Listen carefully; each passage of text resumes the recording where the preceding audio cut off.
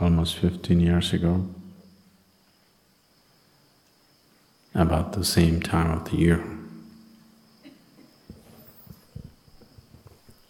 when the monsoons were at their peak.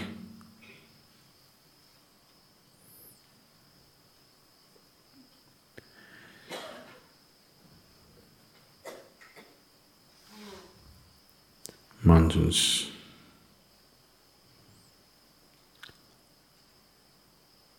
that particular year was of such intensity. And we were sitting in the same place.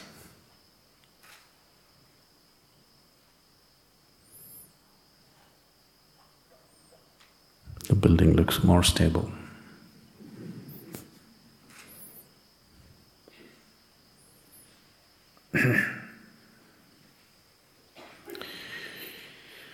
Things happened in that little hut which was precariously holding itself up, threatening to collapse any time. Too many things happened.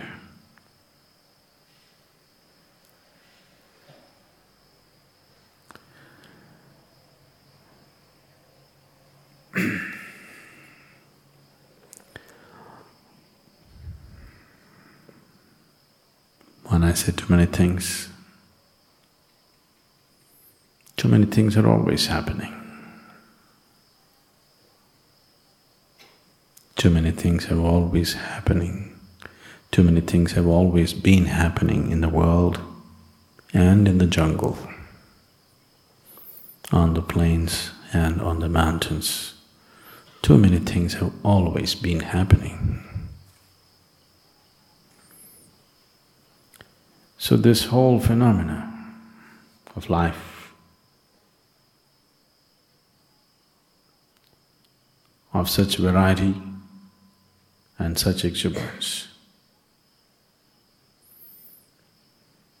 if you have a little closer look at the smaller creatures on this planet, You cannot believe what has gone into making those tiny little creatures of every shape, size, color, design.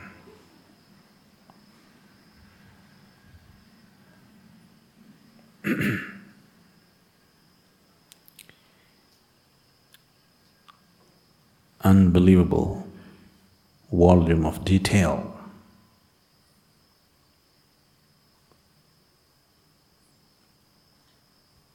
Almost unending variety of detail. This whole process of life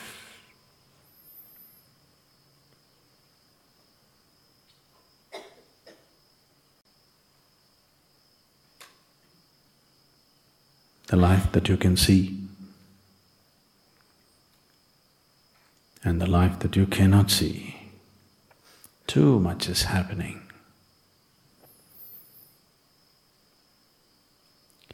It is all happening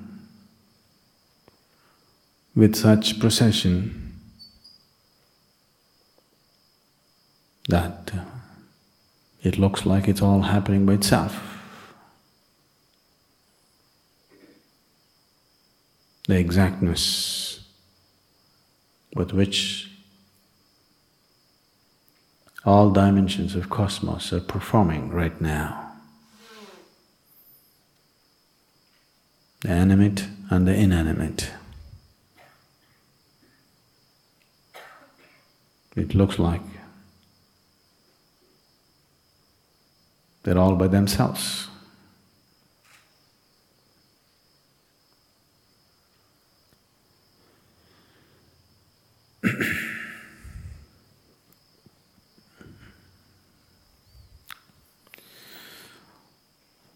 Once a month, uh, I get an order from the publication department. Signed Alexander. I'm sorry, Alexandra. So I can't ignore. Sadhguru, it's time to write a poem. We need a poem for forest flower. We need it in the next 12 hours, 15 hours, 24 hours. Usually that's how it comes. So, I haven't failed them, but I have been not on time many times. So, this is known as the cosmic dancer. The title is Cosmic Dancer. There is no dance without a dancer. There is no dance without a dancer. The dancer is not felt in a dance perfect. The dancer is not felt in a dance perfect. The perfection of the dance dissolves the dancer into the dance. The perfection of the dance dissolves the dancer into the dance. Reveling in the dance, one may miss the dancer. Reveling in the dance, one may miss the dancer.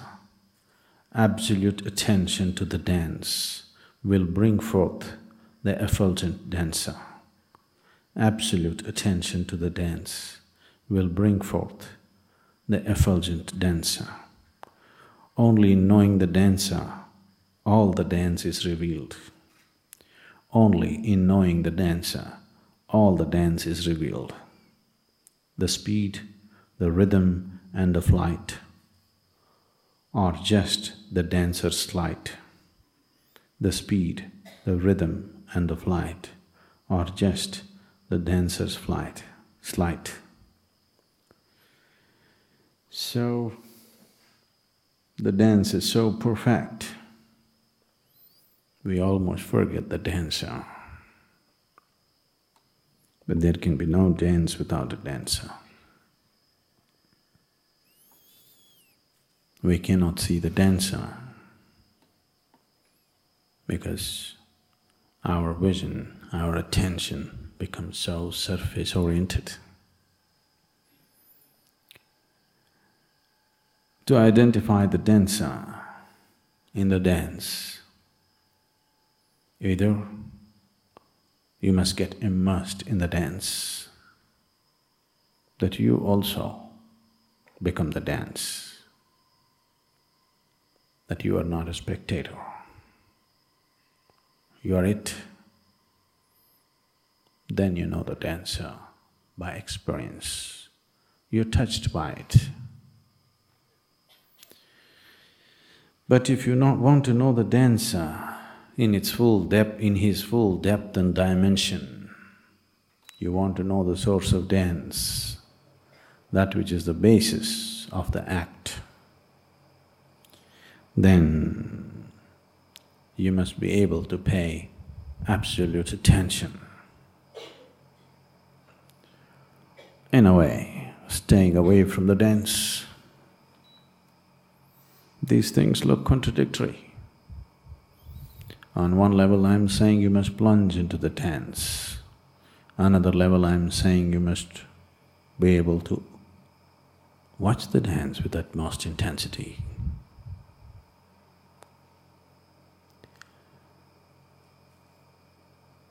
This is not contradictory because you know the world is round. Nothing contradicts anything. It is just that when you look at it, fragmented, if you cut it down into pieces and look at it, everything seems to be contradictory.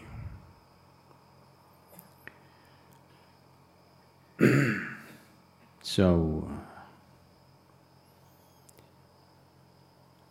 if you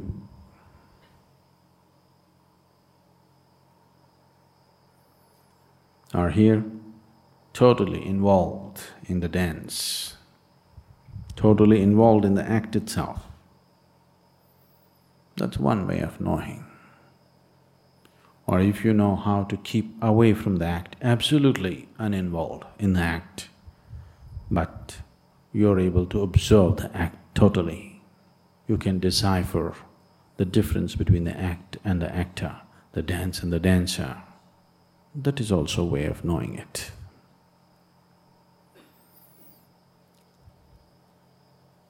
The second takes much more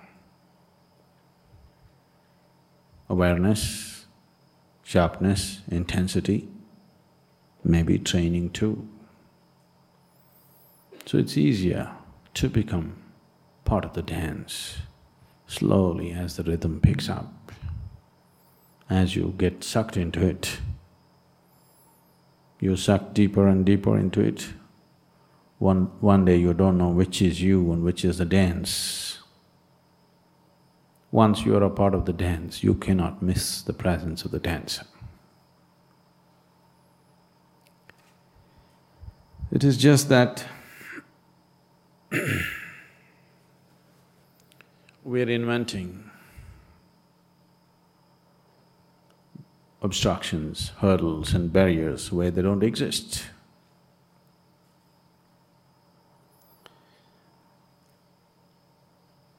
Recently, when I was in a satsang in Ceylon, someone asked, I'm fifty-four years of age. He thinks that's a long time. And I have seen so many spiritual teachers, but I have never been drawn to anybody like you. I'm helplessly being drawn towards you.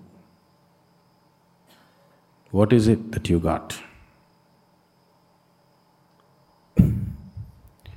So I said, uh, I don't have anything that you don't have. It is just that all of us were given a seed that had the possibility of boundlessness. You are a very careful man.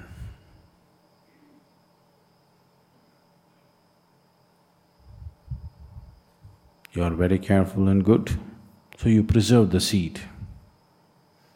I destroyed the seed and made it into a tree. If you want to make a seed into a tree, the seed has to go. If you nurture the seed, it will become a tree. If you keep seed as a seed and walk around, it's stupid actually but it is not. Preserving yourself is considered smart. Allowing yourself to be demolished, to destroy the limited possibility of what an individual person is, is not considered smart. To be exclusive and to be preserved is considered smart. So after all, you're a smart man. So smart, smart, you even conned life. Too smart.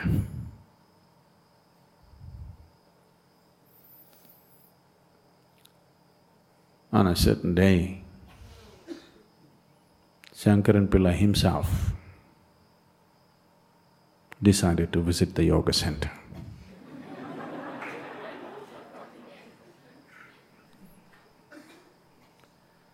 Being who he is, he was received properly and our Swami Vibhu took him on a tour and put him up in the first floor of the Chitra block because it has the best view. You know that? Chitra block, first floor, has the best view in the whole of the ashram. So, Swami pointed at the mountains and said, we're putting you up you here because of who you are and because this place has the best view. Shankaran Pillai looked at it and said, yes, sure, this place would have had the best view if only the mountains were not obstructing.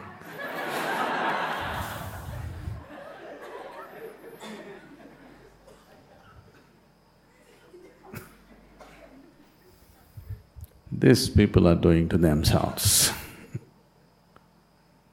you don't understand mountain is the view. You think mountain is in the way.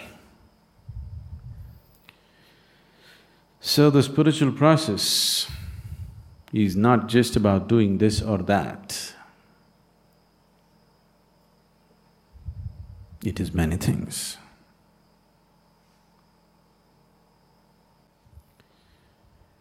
So once you become like this, there is no possibility of you being part of any act. You can neither be aware and just watch it, because that takes a different kind of dispassion, nor can you jump into it and become a part of it.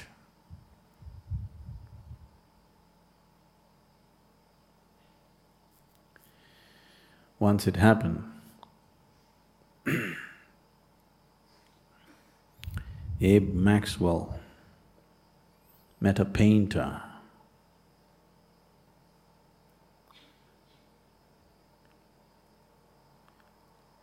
whose name was Wolkowitz.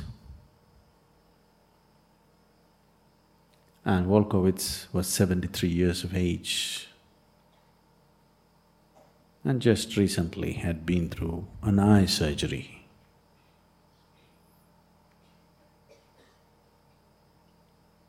So he said, "You've just been through an eye surgery. How is your vision? Is it good enough to paint? Can you continue to be a painter? Without sharp vision, this is difficult. So Wolkowitz said, I think I can paint. In case I find my vision fails and I cannot paint, I will become a critic.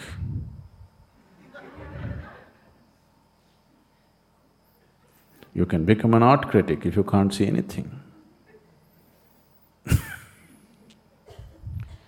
so if you become a critic, you miss the whole act.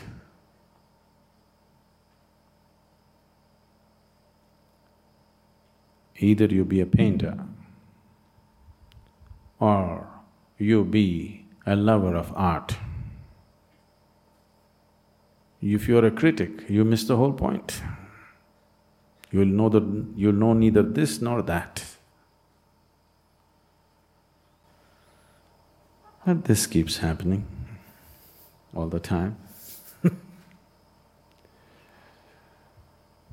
Self-appointed critics simply waste their lives. I forget his name. One great literary critic said this, I have seen statues and portraits of authors, poets, artists, but never of a critic.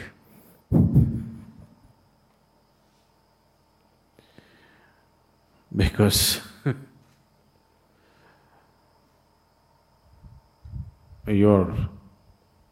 you're… you're a parasite like life you have, don't have a life of your own. You thrive constantly looking and feeding on somebody else's life. This will not get you anywhere. If you're seeking survival, you can be a parasite. If you're seeking liberation, you cannot be a parasite.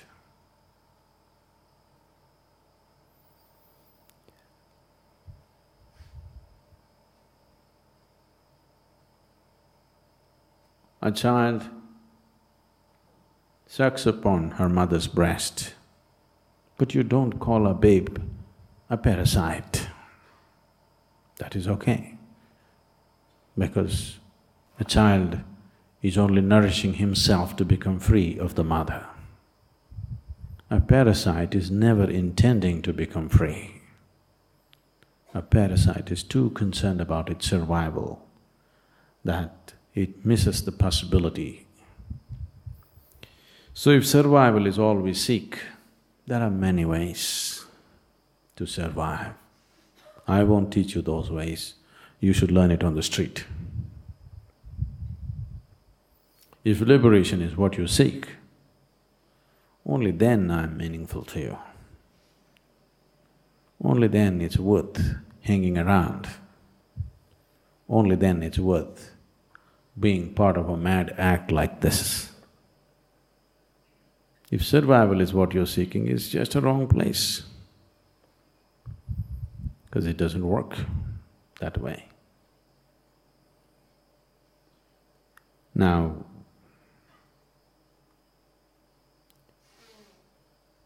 all of us have come with the same seed. But for this seed to become a tree, though every seed has come with the same possibility, between a seed and a tree, there is a journey to be made. If you want the seed to become a tree, you have to nurture it. You have to protect it.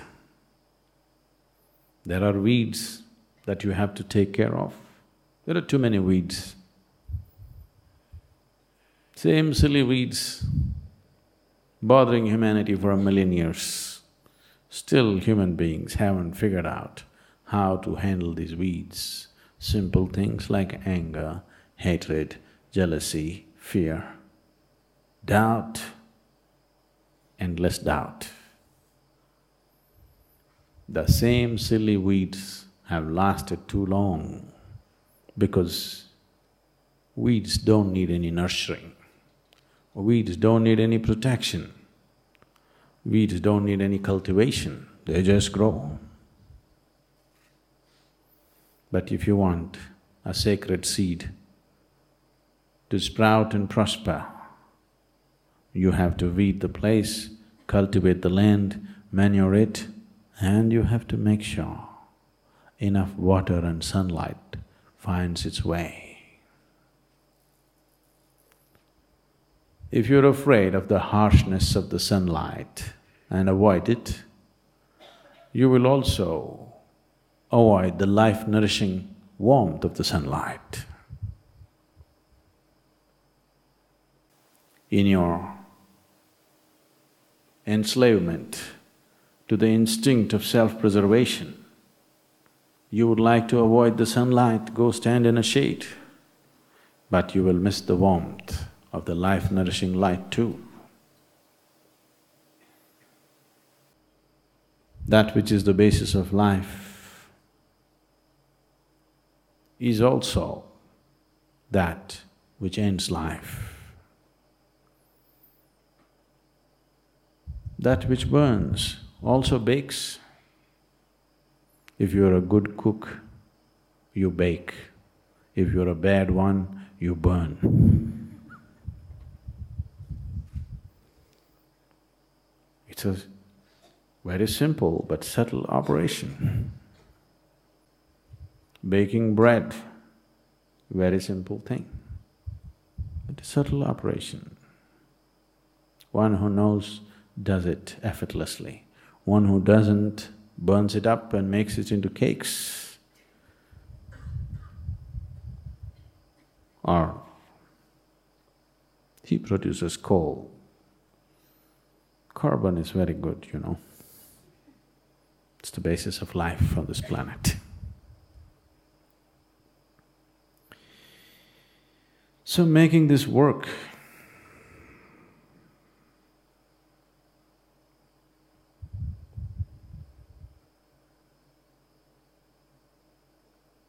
It's very simple if you give in to the whole process. It's very hard if you resist and struggle with the simple process that is set forth. I have been talking about this in the past. When people come here, some people come as investigators. Slowly, they become students. Gradually they become disciples. All this is fine, but if you want to be absorbed and you want to travel fast, you must become a devotee, otherwise it won't work. Takes a long time. and nobody can make you a devotee. There is no teaching. There is teaching as to how to make you into a good disciple. There is teaching as to how to make you into a good student.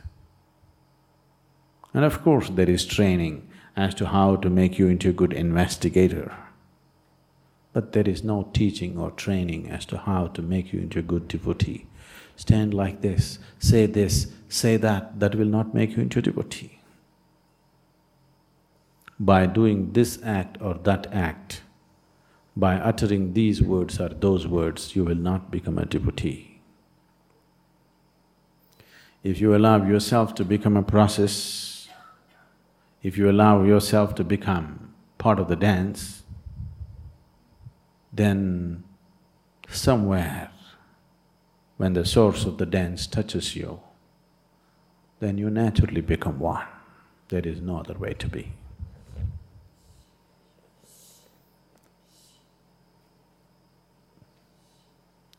Yesterday, someone was telling me,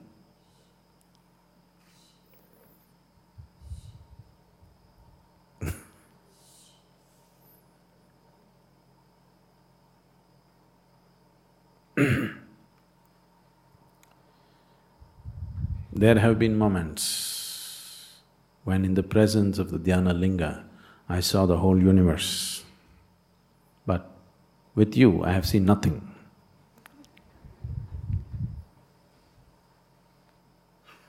That's good. Mm-hmm. Isn't it good enough that you have seen it with Dhyana Linga? At least somewhere you saw something. Is that not good enough? No, no. There's something here.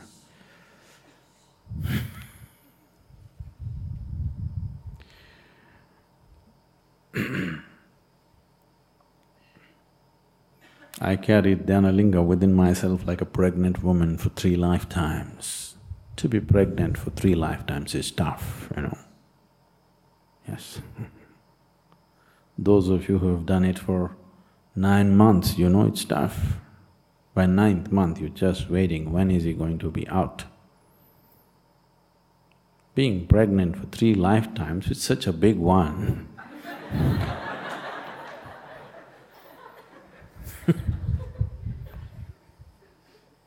not easy.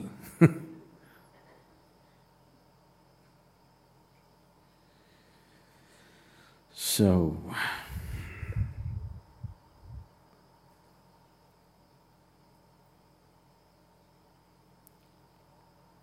don't uh, don't waste your time.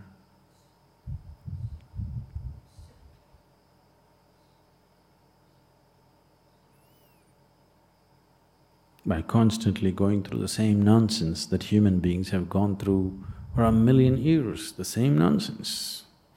It's time to do some new nonsense at least, something new. Same nonsense. This moment it is true, next moment it is not true, this moment it is great, next moment it is not great. I thought you're wonderful, but you're terrible this moment, oh, this is it, next moment, doubt. Don't do this to yourself because at least if it was some unique nonsense you were doing, it's fine. This is the same stupid nonsense people have done forever. Do something new and show me. Show me some new weeds at least. If you don't show me a fabulous crop, at least show me some new weeds. There are no new weeds, people have done it all. It's a very simple process. This damn weed growing business is a very simple process. Any fool can do it. You think you're doing it more intelligently than somebody else. There is no such thing. No, no, my doubt is not like that. My doubt is the same nonsense Don't think it's more intelligent.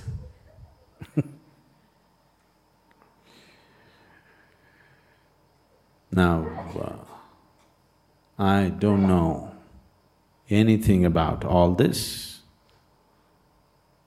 I do not know what is making all this happen. All I know is this much has worked for me. My back pain went away. All right, let's start from that.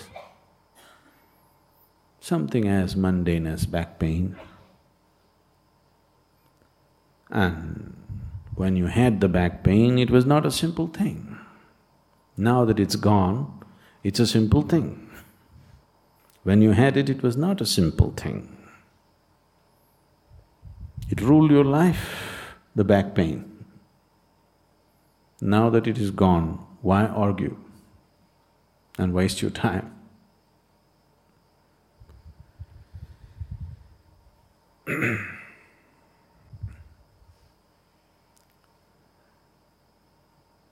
if you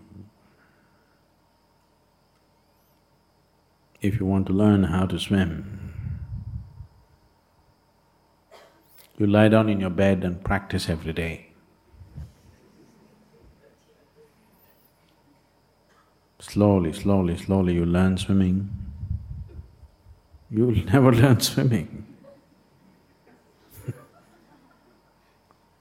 You have to jump into the water and somehow thrash it out. What if I drown? Don't you see nobody has drowned till now? Isn't that good enough proof? Don't you see the pools of water that we create? People can't drown, even if you go in, it pushes you out. And don't you see that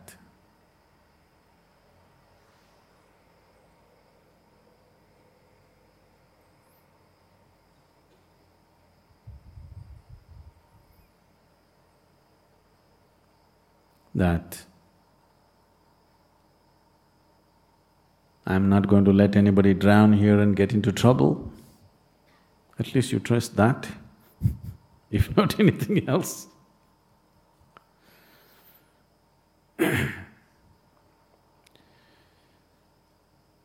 there is no other way to swim. You have to jump into the water. No, can I hold on to a float? Can I do this? Okay, do that, take your time. But without getting into the water, how? It cannot work. So, every day, every day, every day, when we say sadhana, sadhana, sadhana, sadhana is not just about the practice. To give you a simple sadhana, a twenty-one minute practice maybe right now, for the earlier ones maybe thirty-five minute practice. To give you a twenty-one minute practice, we are spending almost forty to forty-five hours with you. To give that old thirty-five minute practice, or actually it was fifteen minute shunya, to give you that fifteen minute shunya, we spent over sixty hours with you. If all that was not important, why would we spend that time with you? So when we say sadhana, it includes all that. I gave you those three eyes. You forgotten? Not these. Instruction, integrity and intensity of purpose. If you just maintain this, the whole process is towards taking you towards an all-inclusive state. Because… not because that is my idea, not because that is my desire for you, because that is the nature of the Creator. And the seed of the Creator is within and it will not rest it will not give you a moment of rest in your life till it finds its original nature. Don't you have any uh, hopes about knowing what peace is, knowing what bliss is, without allowing him to have his way? Don't you have any such stupid hope? you will never know a moment of rest in your life. You will never know a moment of peace in your life. You will never know a moment of absolute ease in your life till you allow him to find his way. Otherwise, he will not let you rest, never. Sadhguru, a pupil asked, Is it best for me, Master, to walk the straight path, or would it be better for me to choose the crooked path on which my spirit leads me? The Master replied, He who takes the straight path north sees the north. He who takes the straight path south sees the south. He who takes the straight path east sees the east. He who takes the straight path west sees the west and he who walks the crooked path sees all the directions. Please comment.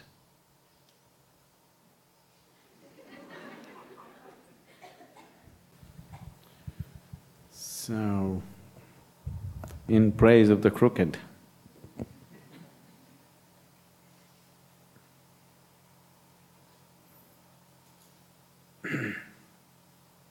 there was a crooked man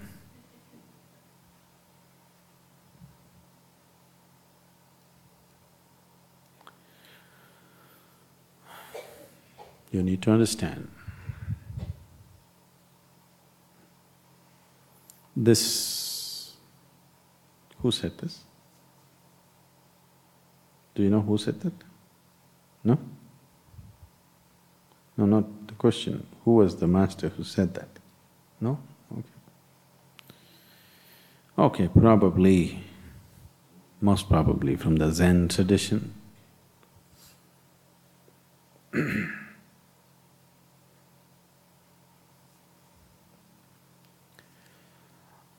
This is being said because people were getting identified, identified with different dogmas.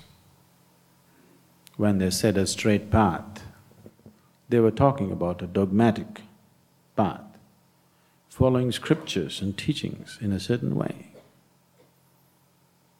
So, if you're facing north, it goes only north, if you go west, it goes only west, east goes only east, south goes only south. But if you take a crooked path, you will see all, but you will not get anywhere.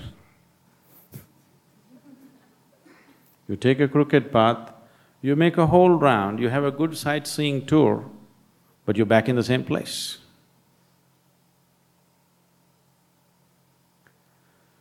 So, are you here to do sightseeing or are you here to get somewhere? That's a question.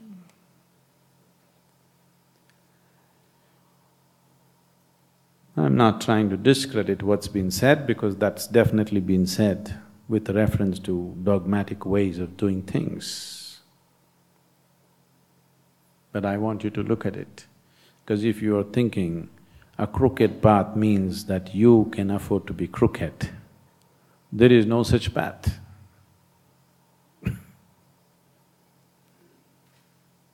you can take a bend in the path, but you got to be straight. If you are thinking somebody is approving your crookedness, if you are crooked, there is no path. There is no such thing. If you are straight, everything is a path. There's no such thing as straight path, there's no such thing as crooked path, because the path is inward. Where is it straight? Where is it inward? If you go north, I would say you're wrong. If you go south, you're definitely wrong. If you go east, you're wrong. If you go west, you're wrong. If you go up, you're wrong. If you go down, you're wrong. Spiritual process will happen to you, not because you look up, not because you do look down, not because you look in the four different directions, but because you look inward. Inward is neither north nor south, nor east nor west, nor up nor down, because what is inward is dimensionless. That which is dimensionless can neither be approached by a straight path or a crooked path, but only by somebody who is straight within himself. Being straight within himself simply means at least you're straight with yourself. You've gotten used to bullshitting others. It's up to you. If you do it, slowly, situations will push you to your corner. In the larger societies, you can bullshit a little more, there's little more opportunity to get away with it. In a small society like this, if you bullshit two people, that day everybody knows you are a heap. And they know where to put you Because here, gossip is an effective means of communication. Everybody knows this person did a little bit of nonsense here and there and there, everybody knows. In the larger society, you could bullshit them a little while longer, but there also, if you bullshit too much, they'll push you to the corner.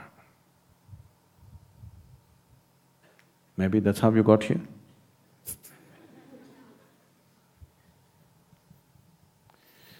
So, if you want to go anywhere, the first and foremost thing is that you are straight. Then don't worry about the path, whether it's straight or crooked, up or down.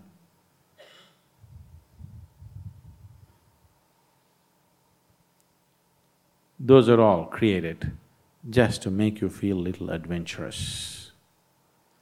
Actually, there is no path. You stepped out you projected your whole life out, which is very illusory. If you stop the projection, everything is inside. Even now, everything is inside. Please tell me, where do you see me?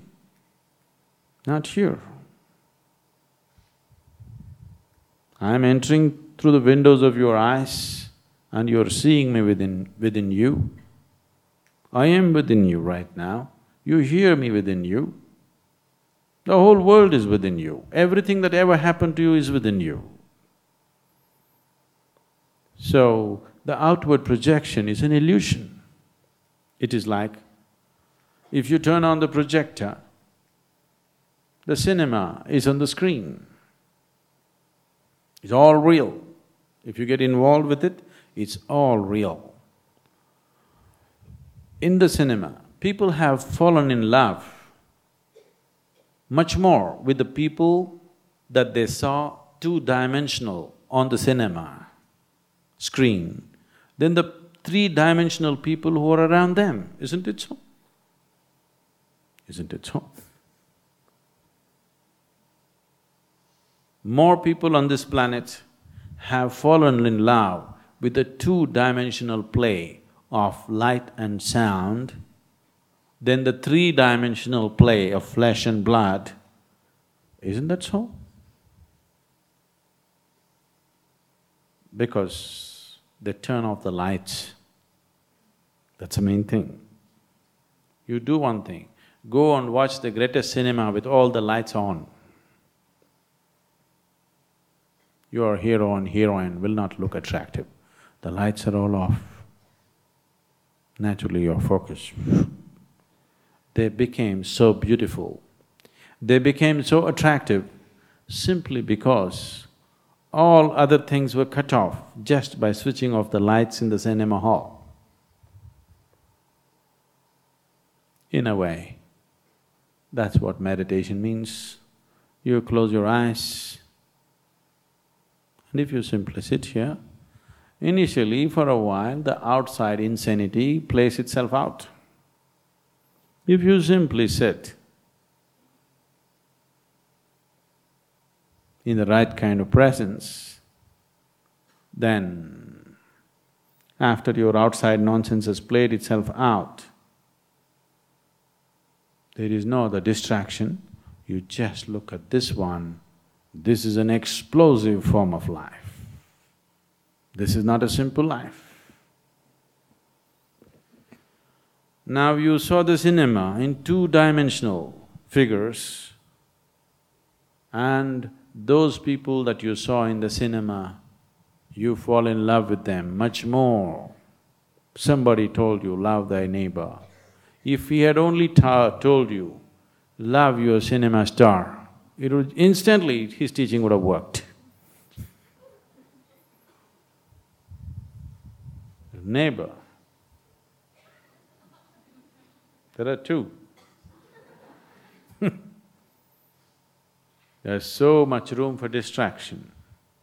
If all distractions are taken away and you just look at anything, you'll fall in love with that, anything. You look at an insect, you look at a flower, you look at a twig, you look at the mountain, you look at the rock, you look at a grain of sand without any distraction, you will absolutely fall in love with that. That's what meditation means. So, you don't go on a straight path, nor do you go on a crooked one. You stop doing this foolishness of doing straights and crookeds and bends. You learn to be straight with yourself. And don't try to go anywhere, just be simply here will happen because there is nowhere to go. There is no way for anybody to experience anything outside of themselves, please see. There is no way for you right now to experience anything outside of yourself. Anything that happens to you happens only within you, never outside. So what path are you talking about? Path is always about going somewhere. When you have no need to go anywhere, then you're on the path. It's neither straight nor crooked. It is neither long nor short. It is definitely north nor south. It is inward. Inward is not a direction, inward is a dimension. It is just that the problem with the spiritual path, the problem with lots of you being here is just this. On a certain day, an old farmer, considered to be wise, was carrying a big bundle and approached a tunnel he was just about to enter the tunnel, then he thought, it's all right, the tunnel is wide enough here, I can enter this, but that little hole that I see there, I'm sure I cannot get out of it. And he backed out.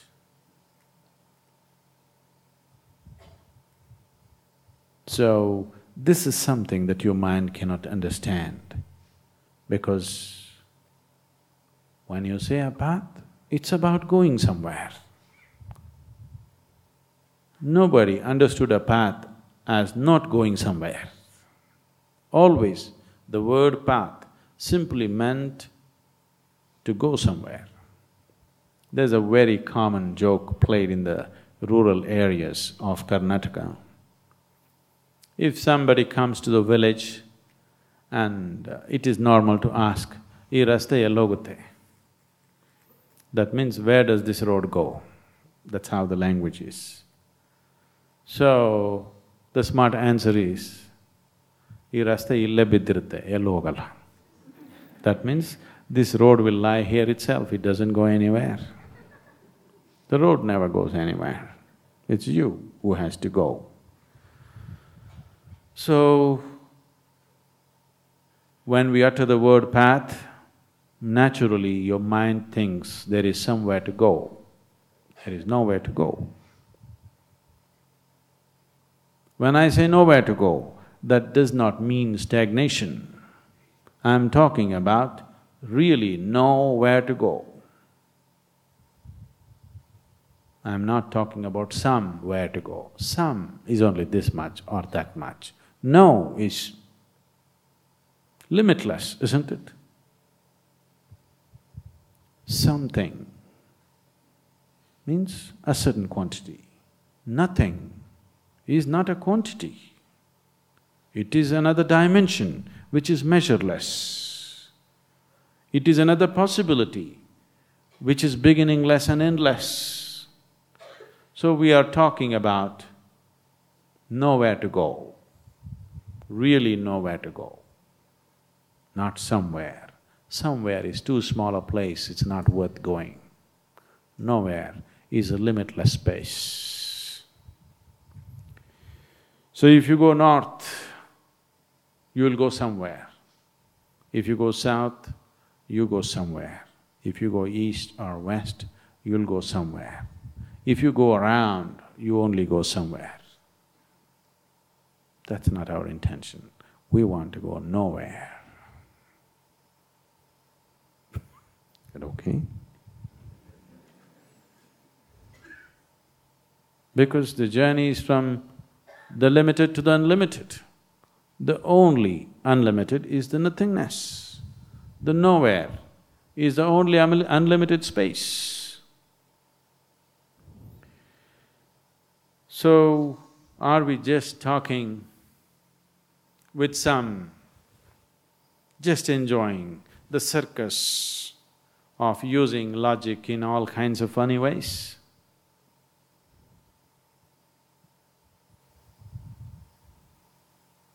You ask the question because still your mind is in such a state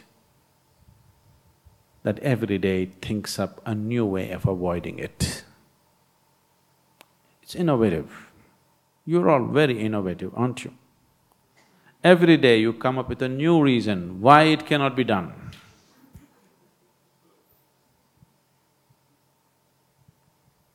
I have convinced you a hundred times over, it is possible. At that moment you said yes. Tomorrow you came up with a new innovation as to why it is not possible. So still the mind is in that state. So you like this logical mind which seems to come up with lot of innovations to keep you in its own ambit, to keep you within its limitations. So let us look at it from its perspective, from the perspective of the logical mind.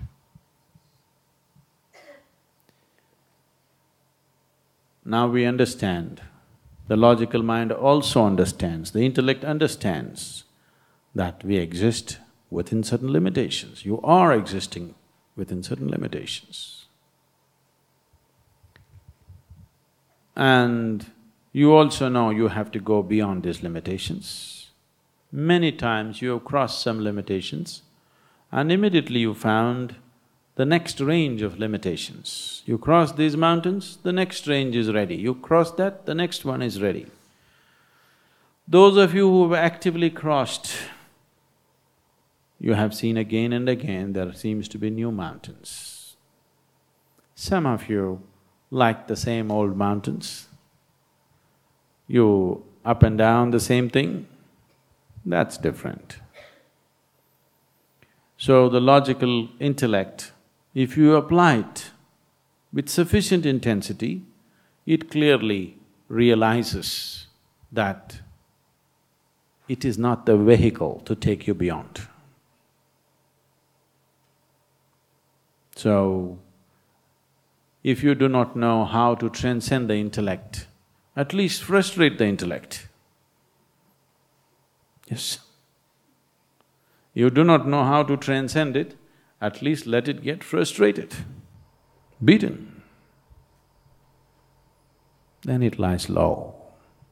When it lies low, we can do things with you.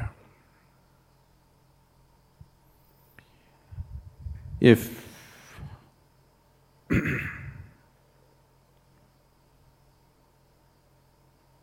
if you really want to step inward,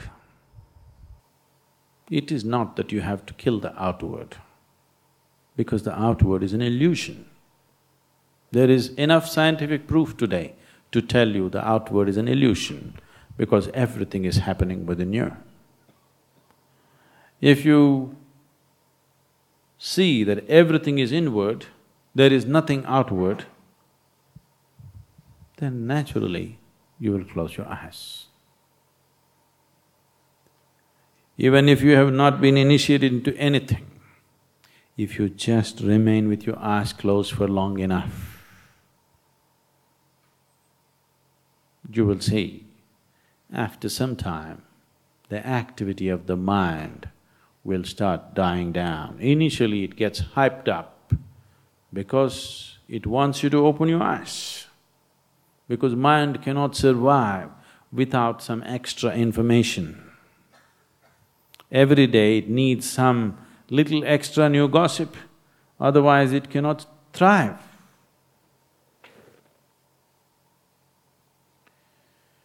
So, if you simply remain with eyes closed for long enough, you will see the intellect will just lie low. It will be like your pet dog.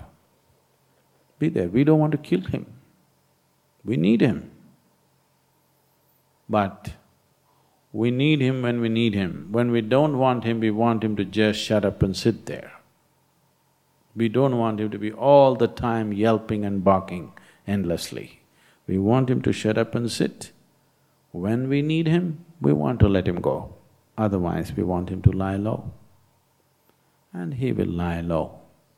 Once your intellect lies low, if you give it enough time, then the true intelligence begins to function. What you call as an intelligence and what you call as the source of creation are not different once that begins to function. You're naturally a blissful being, there is no other way to be. Once you're touched by the source of creation, once you stop playing your own games, from the petty information, from the gossip that you have gathered, what you call as information is just gossip. Some people, if you li don't like the people who are gathering information, you call them gossipers, otherwise you call them social scientists. Isn't it? Isn't it so? so, this gossip that you have gathered, your intellect is thriving on it. If you keep your gossip aside, and if true intelligence begins to function, then you and the Creator are not different. Once this is so, being blissful is very normal. It is not something that you aspire for, it is not something that you long for, it is not something that you create, that is the way it is. Only when you're blissful by your own nature, then you are willing to drop into the abyss of nothingness, then you're truly ready to go nowhere. When you're not blissful by your own nature, it is very natural for you to hanker, to go somewhere. You want to go north, south, east or crooked. Whichever way, you're still longing to go somewhere you are not willing to drop into the abyss of nothingness. When you say, I'm seeking the boundless, you're talking about falling into nothingness. It is not a threat. Oh, is it a bottomless pit? Yes, it is. And a bottomless pit is not dangerous. Only a pit with a bottom is dangerous. If there is no bottom to the pit, what is the problem in jumping? you will be eternally suspended, unharmed, untouched by anything. If there is such a space which is bottomless and if you fall into it, is there any danger? Is there any danger at all to you? Only if it has a bottom, you will go and get smashed. It is truly a bottomless pit. Bliss is a bottomless pit. Only when you fall into the bottomless pit are you truly blissful. Otherwise, you are constantly hankering, wanting to get somewhere, wanting to get somewhere. You cannot go anywhere. Wherever you go, whether you go north or south, still your experience of life, all of life is happening only within you.